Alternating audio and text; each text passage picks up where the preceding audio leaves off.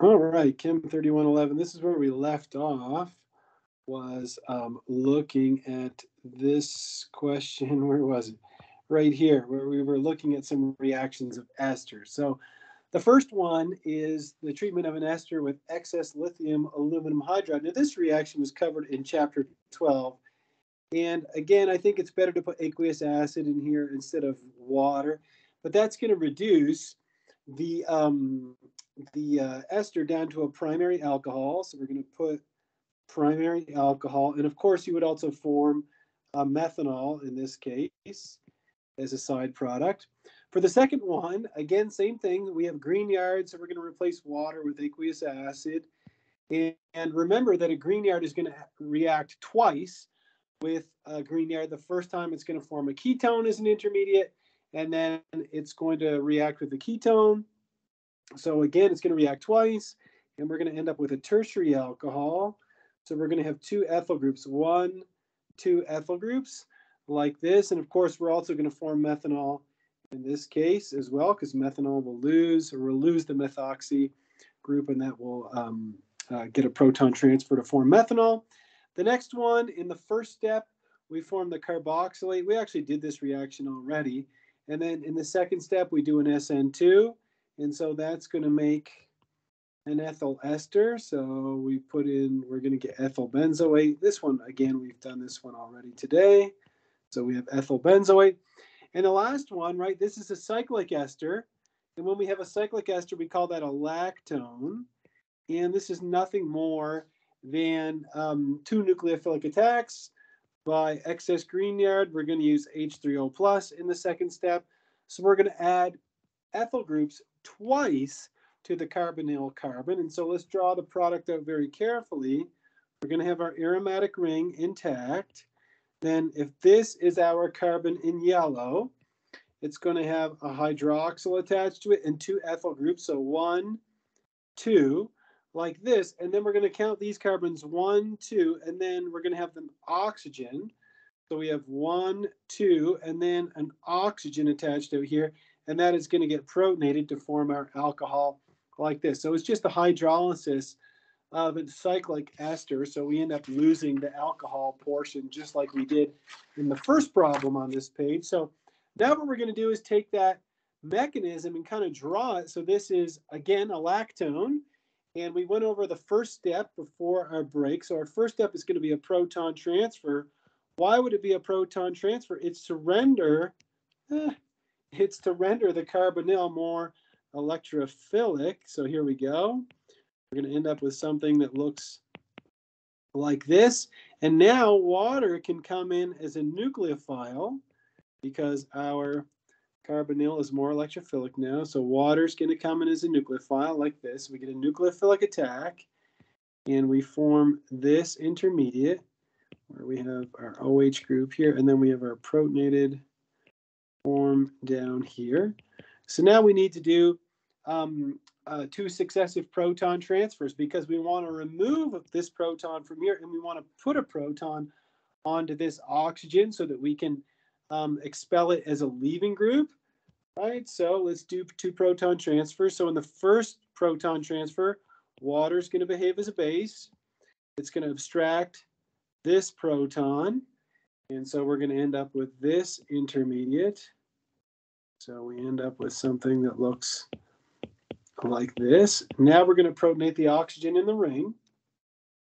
Oops, with our acid catalyst. So we'll draw in our hydronium ion like that. And we get a proton transfer like this. Okay, oops. There we go. And so we end up with protonated oxygen. Oops. Put a lone pair that I didn't need. There we go. That's more like it. So that's going to have a positive charge. here we go. And I'll put in the two lone pairs here. And so now we're going to lose the leaving group. So we're going to restore the carbonyl and we're going to lose our leaving group. So that opens up the ring. So now we're going to have something that looks like this. So we're going to have our oxonium ion and it's going to have this hydroxyl. Then you have one, two, three carbons. So one, two, three carbons. Then we have the hydroxyl that left. And then the very last step You do another proton transfer to restore neutrality, and you're done. So there's the whole mechanism of the hydrolysis of an ester in acid. All right, so we've gone over the um, Fischer esterification mechanism in detail, and now we've covered the hydrolysis of an ester in acid and base. So got a lot of mechanisms down today. So let's move on to section 20.12, where we look at the reaction of amides, and we're going to start with the preparation of amides. So, so far today, we've covered acid chlorides, acid anhydrides, and esters, and now we move on to the least reactive of these, which is the amide. So let's get right to it. Well, this reaction is one that you saw today when we covered the chemistry of acid chlorides. We said if you take an acid chloride, treat it with two equivalents of ammonia, that makes your um, primary amide. And of course, you would also form ammonium chloride in this case, right? Because the second equivalent of ammonia neutralizes um, the protonated form of the uh, amide. Then um, another, uh, so this next part deals with another reaction of an amide, and that is the hydrolysis of an amide. So an amide can be hydrolyzed in acid or base. Now the hydrolysis in acid, uh, it works, and the driving force of the reaction here is that here's our acid, right, and this is our conjugate acid over here. Well, the pKa of of um, hydronium is around negative 1.7, but the pK of the ammonium ion is around 9. And so the equilibrium is going to lie hard to the side of the weaker acid, right? So here, weaker, weaker acid. And so that's the driving force behind this reaction. But again, not a great reaction, kind of a slow reaction that requires really high temperatures. Um, so again, and this is, you know, just summarizing what I just told you, is that the products are favored because when you get the protonated form of the the amino group, um, it's it's not only um, favored in terms of pKa, but it's also favored in terms of the fact that it can't behave as a nucleophile. So kind of a double a double whammy there.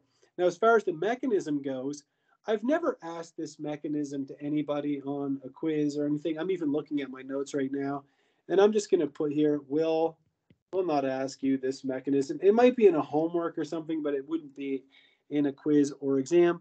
So I'm not going to go over this one in detail. Again, it follows the whole nucleophilic attack and loss of leaving group, like all of these nucleophilic acyl substitutions do. And then it's just a matter of figuring out where are the proton transfers. You can also hydrolyze an amide in base. And it says that this reaction is analogous to the basic hydrolysis of an ester. Now remember that after the first uh, the first step is complete, you end up with a carboxylate, right? You end up with a carboxylate, and so you would need to acidify to produce the carboxylic acid. So the mechanism for this reaction is shown here. And again, I've never asked this mechanism directly because we have enough mechanisms with Fischer and all that stuff. But again, I do think it's a mechanism worth looking at um, uh, just taking a quick peek at.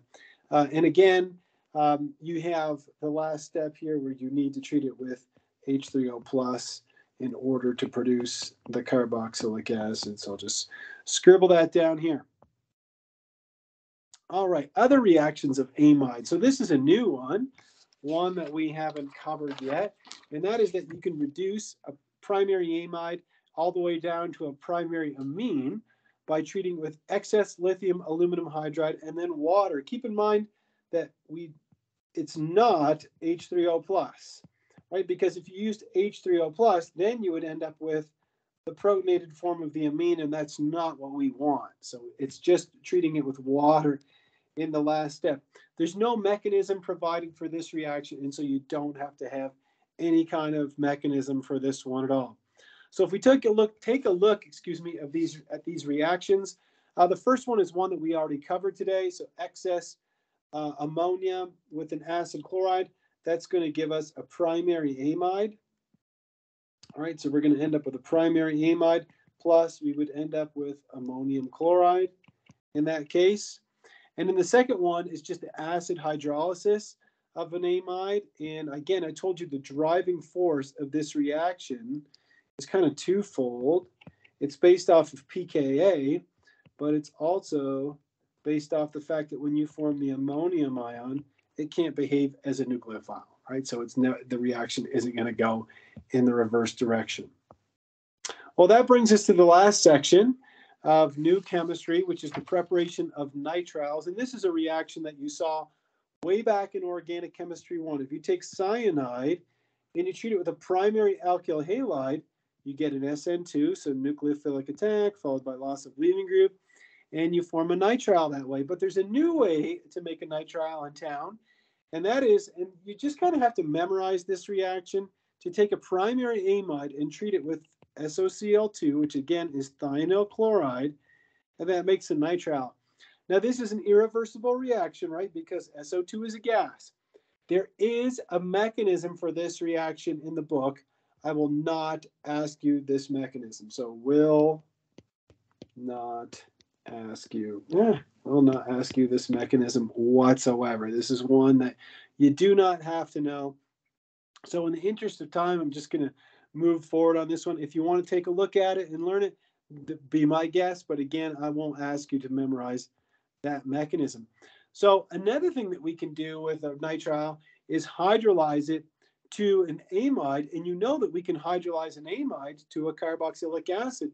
So this does provide a way to take a nitrile and convert it all the way to a carboxylic acid if you just treat it with H3O plus and heat it long enough. Now, the mechanism of this part is covered in the textbook. I will not ask this mechanism, so will not ask this mechanism. Again, I'll leave it as an FYI. If you want to go over it, be my guest, but I will not ask you this mechanism, so you don't have to stress about this one a whole lot. The um, second to last reaction that we look at, no, sorry, the next reaction for a nitrile is um, the hydrolysis in base. So you can hydrolyze a nitrile in base. However, when you do that, after step one, you end up with a carboxylate, and then you treat it with aqueous acid, and it's going to protonate it to form the carboxylic acid. You do not have to know this mechanism. So again, I will not ask you this mechanism, any of the nitrile mechanisms. So we'll move on from there. And again, the second to last is I was a little bit ahead of myself here. The second to last reaction for a nitrile is treating it with a Grignard, which produces an imine. So you end up with an imine in the first step, and then you hydrolyze the imine um, to a ketone. And we looked at the hydrolysis of an imine to a ketone. So basically, what happens is you end up with this intermediate. Then, when you treat this with aqueous acid, aqueous acid, you end up with this right, which you recognize from chapter 19. So this is an imine, imine, and then you hydrolyze that to a ketone. I'm running out of space here, but that gets hydrolyzed to a ketone in aqueous acid. And again, that was covered in chapter 19. So the last reaction, I think the last new reaction in the chapter is the reduction of a nitrile using lithium aluminum hydride the worst accident I've ever seen in the lab was this uh, this reaction right here. It was a reaction between a nitrile and lithium aluminum hydride. Anyhow, so what happens is you deliver two protons to this electrophilic carbon. And then remember, in the second step, you can't use acid. You have to use water because if you used acid, right, then that would give you the ammonium, right? And you don't want to do that. So you have to use water in the last step, and that covers all the reactions of nitrile. So let's see if we can take a look at solving these ones. Here, so the first one, we're taking a nitrile and reducing it with lithium aluminum hydride, and then following that up by, um, oops, sorry, my mistake, getting ahead of myself here. Treating that with um, water, and so that's going to give you a primary amine. So we end up with our carbon, and we end up with a primary amine. In the next one, we're going to do an SN2 in the first step. So the first step, we just do an, oops, come on, Mr. Deon. We do an SN2 reaction like this to make this intermediate. So we'll draw the whole thing out like this. There we go. And then we're going to hit that with methyl magnesium bromide. So the second step, we're going to hit this with methyl magnesium bromide, and we're going to end up with this intermediate. So we'll put it make the double bond like this. And it's going to look something.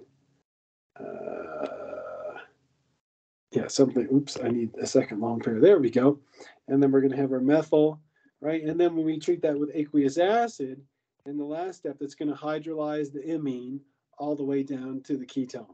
So we're going to go from the imine down to the ketone. So let me draw the ketone, which is going to look something like this.